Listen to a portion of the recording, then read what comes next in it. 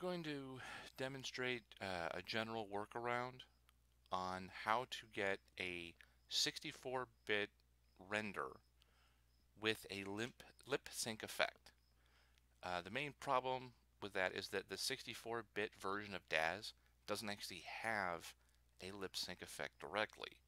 Lip syncing only exists in the 32-bit. This is the 32-bit version. You go to Windows, Panes, Lip Sync, load.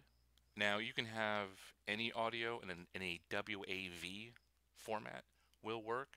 These are just the ones that it just naturally came with. So I'm just going to load that guy up, see what happens.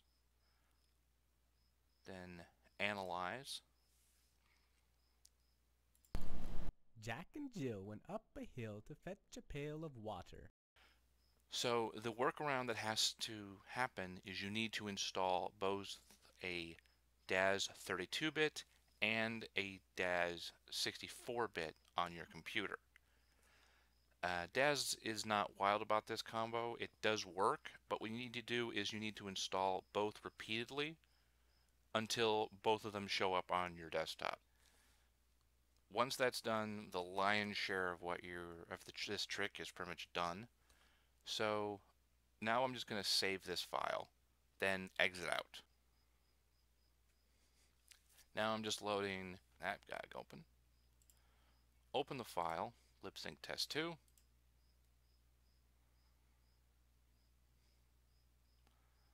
Now I'm in 64, see if it still works. Jack and Jill went up a hill to fetch a pail of water. So the, the lip sync effect has been applied. It's now just in the 64-bit. And if you're wondering why should I even bother with this, is that if you have a 64-bit computer, which I do, then it, when you go to render, the 32-bit will pretty much just cut out. It, I've never been able to render anything in a 32-bit, but everything works fairly well in a 64-bit. So I'm just going to render this to show you what the end effect is. So this is my render. Uh, if you're worried about this kind of aura around his body, the only reason that's showing up is because I didn't put any kind of a background before him, behind him. This is uh, this is just an example, and I wanted this to render quickly. So you see. Jack and Jill went up a hill to fetch a pail of water. So I have a 64-bit render from a 64-bit computer that was able to render a lip sync effect it's not really a solution. Technically, it's classified as a workaround, but as you can see, it works. If you have any other questions, I always encourage people comments, and even if you think I did something wrong, let me know. Thanks a lot.